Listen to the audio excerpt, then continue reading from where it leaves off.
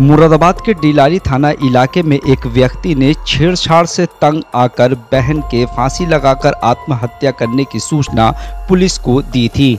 मौके पर पहुँची पुलिस ने शव को कब्जे में लेकर पोस्टमार्टम के लिए भेजकर छानबीन शुरू कर दी थी।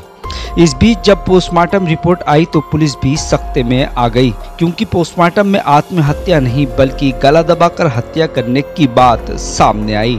दरअसल अजय कुमार नाम के व्यक्ति ने पुलिस को फ़ोन करके बताया कि उसकी 18 वर्षीय बहन पिंकी ने दुपट्टे से फंदा लगाकर आत्महत्या कर ली है।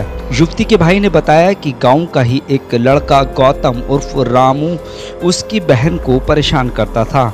जिससे तंग आकर उसकी बहन ने जान दे दी। अजय की जानकारी के आधार पर पुलिस ने रामू की तलाश शुरू कर दी। लेकिन इसी दौरान पोस्टमार्टम रिपोर्ट में जो हकीकत सामने आई, वो कुछ और ही थी, जिसके बाद पुलिस ने अजय को हिरासत में लेकर सख्ती से पूछताछ की। तो उसने बताया कि रामू उसकी बहन से प्यार करता था और उसका एक बार उससे विवाद भी हो गया था। जिसके बाद उसने अपने रिश्तेदार आशु से मिलकर रामू को फंसाने की योजना बनाई और बहन की गला घोटकर हत्या करने के बाद शव को फंदे पर लटका दिया ताकि उसका प्रेमी रामू फंस जाए। फ़िलहाल पुलिस ने पिंकी के भाई अजय कुमार और उसके बुआ के बेटे आशु को गिरफ़्तार कर जेल भेज दिया है।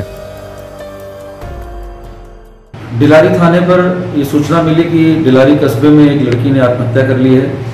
इस सूचना पर डिलारी पुलिस ने मौके पर पहुंचकर शव को अपने कब्जे में लिया। पंचायतनामा की कार्रवाई कर उसको शव को पोस्टमार्टम के लिए भेजा गया। घर वालों की तहरीर पर कस्बे के ही गौतम उर्फ़ रामू के विरुद्ध दुष्प्रेरण का अभियोग पंजीकृत किया गया। अगले दिन पोस्टमार्टम रिपोर्ट से पता चला कि लड़की की मृत्यु गला दबाकर की गई है। उसकी मृत्यु गला दबाकर दबाने से हुई है। इस सूचना पर आसपास के लोगों से घर वालों से जो वहाँ उपस्थित थे, उनसे पूछताछ की गई। पूछताछ एवं परिस्थिति जन साक्ष्यों के आधार पर दो नाम प्रकाश में आए।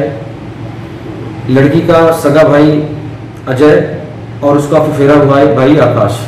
इन दोनों ने मिलकर लड़की की हत्या की और उसे आत्महत्या दिखाने के लिए शव को पंखे से लटका दिया।